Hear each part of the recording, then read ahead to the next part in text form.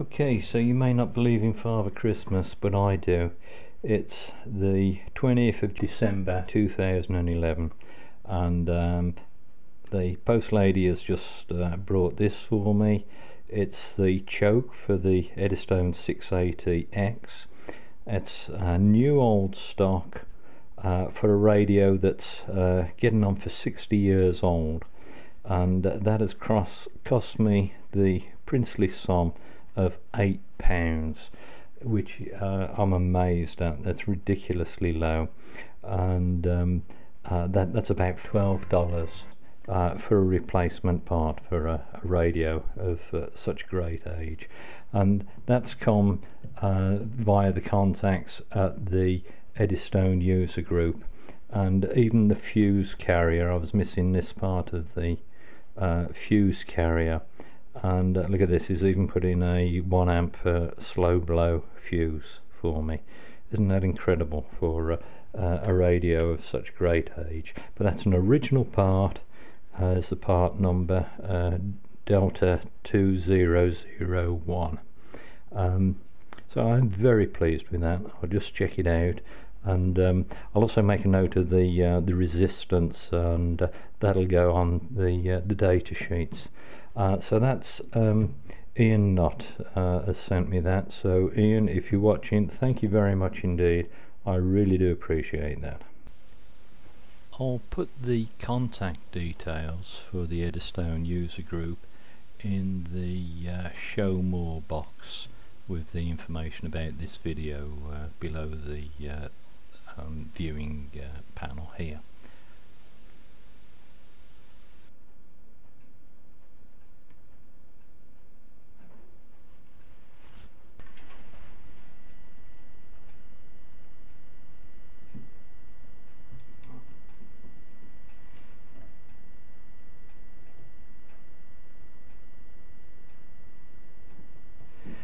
That's uh, 6.1 Henrys. So again that can go in the data sheet. I've identified all of the test points now and I'm just about to uh, take some voltage readings but uh, these are the standard probes that I've got on my uh, digital meter. Give you a close-up of that.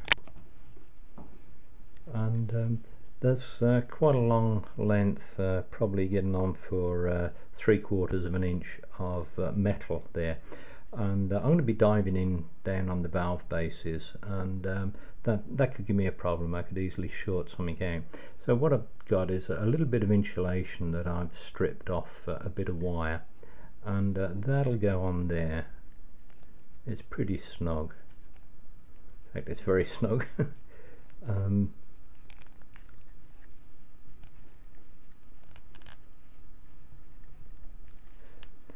and so now I've just got that uh, little tip that's exposed. So this end will get fixed to the chassis and then this end I can go diving around.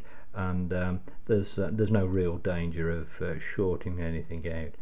Um, usually on a, a, radio like this if you do short something out you're more likely to jump and do something daft um, uh, rather than uh, do a lot of damage to the radio. But uh, it's a, a, useful thing to do and it doesn't cost anything. So this is the manual that I got with uh, the radio and um, it's got a lot of useful stuff in it. But, uh, here is a list of voltages for various parts of the circuit. Um, so these uh, positions uh, listed down here A, B, C, etc. Uh, and then there's two sets of voltages and it's marked for an AVO and for a Western. And uh, it, somebody's told me that the AVO here was probably an AVO 7 and an AVO 7 has a sensitivity of uh, 500 ohms per volt. And uh, the Western has um, a sensitivity of 1000 ohms per volt OPV it's gone there. Um, so if you're taking a voltage reading um, and uh, that voltage is being supplied by a resistor of several megohms uh, value then the, depending on what meter you actually take the voltage reading with, um, it will actually alter the the voltage uh, that the meter sees, and that's that explains the difference between these two readings. So your modern voltmeter um, if you're looking at a, a, a, high resistance or high impedance circuit, you'll read a, a slightly higher voltage uh, than you would do with a, meter that um, uh, has uh, quite a low resistance. Um, anyway, I've taken those values and um, translated them onto a new A4 sheet um, so there's a few things you need to do when uh, checking the radio. Just make sure that it's set into the same conditions as the original test spec. So I've lift, listed those items and then I've uh, simply copied down those values that were in the manual and I've given myself a position to write down uh, my figures for uh, for what I need, so your readings. And um, I will make all of this documentation available on the Eddystone user group. But uh, right. As I say I've identified uh, all of the test points and uh, this is test point A when the uh, radio is in position 5 with the band switch and position B is down here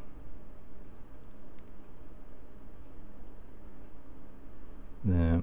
Um, I'm not going to go through the whole radio with the camera on as I'll wind up electrocuting myself. Uh, but I say some of the positions I'll get a close-up. Um, you may be able to see down there that's uh, one of the valve holders in the middle of the shot there. And uh, trying to get down there with these probes these these are a little bit industrial these probes for, for this job. And uh, I could do with the AVO probes I think um, but uh, anyway I say I'm not going to go through the whole radio uh, like this but um, right. Well I've just taken a list of uh, readings and uh, some of them are really uh, way out of uh, line. And you'll see here on position S it should be 25 volts or thereabouts and I'm getting 110 and over here I'm getting 221 volts where I should be getting 22 uh, minus, uh, 0.13 volts uh, where I should be getting 22 um, 0.09 where it should be uh, 0.8 so you know more than the factor of 2 difference um, one position I can't get to because that's uh, for the beat frequency oscillator and I've got to strip out a, another metal can. I did wonder if the uh, radio was uh, still working right after this so I've um, I've just uh, put it back on and uh, coupled the aerial up and uh,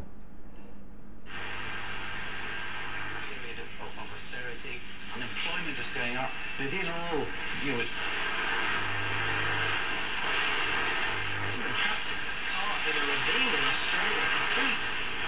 in principle to a contract. Wrexham midfielder Lee Fowler's told BBC Sport Wales that his...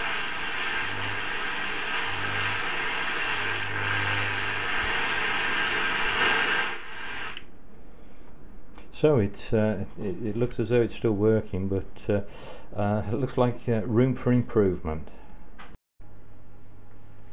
I have my uh, voltage readings now. Um, I still haven't done the total uh, current. I have done that in the recent past, but I haven't done it just. Um, what I've done is I've converted these figures into percentages and anything that's 20% above or below the uh, uh, anticipated figure in this uh, column. Uh, then I, have I've just marked it with red just so as um, you know it's a good point uh, to start from. And um, it gets interesting when we get over here and uh, we see test point V uh, we're anticipating something like 22 volts and we've actually got 221 volts so that's uh, that's uh, plus 900 percent uh, so uh, we've seen huge differences there. And then um, test point V on the circuit diagram just make sure I'm getting that into place okay that's the anode of the splitter there. Um, so uh, pin 7 of uh, V9 um, and uh, the other uh, voltages associated with that valve uh, on uh, test point W we're expecting 22 volts. We're actually minus 99% at minus 0.13 so test point W um, again is on the um, on the screen grid. So uh, it looks like that uh, is a, a, bit of a suspect there. So I'll float through and um, uh, as I find things so I'll video them. I probably won't do it live as um, it simply just takes too much effort and uh, too much time in editing afterwards. Um, but anyway, I hope you find that interesting, and um, I'll keep you informed as I uh, as I go along.